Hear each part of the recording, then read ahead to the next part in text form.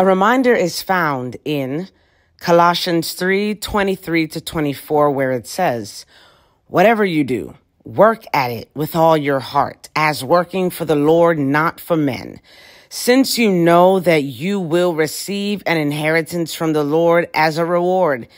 It is the Lord Christ you are serving.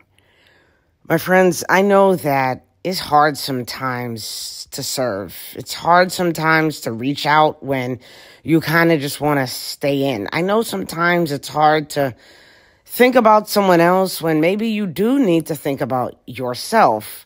You see, thinking about yourself isn't selfish at times. Thinking about yourself is really necessary, especially in moments of rest or moments of a retreat. You know, these moments, it's, it's vital, but even in those moments, I know God still speaks to us at times and says, Hey, I need you to comfort this person. Hey, I need you to chat with that person. The Spirit works, the Spirit knows. And so serve God.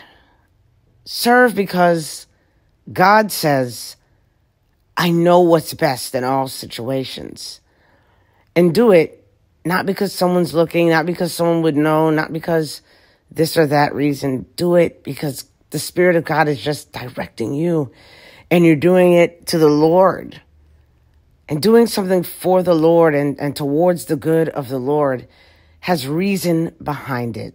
And so God bless you as you look out for others. God bless you as you serve in the Spirit.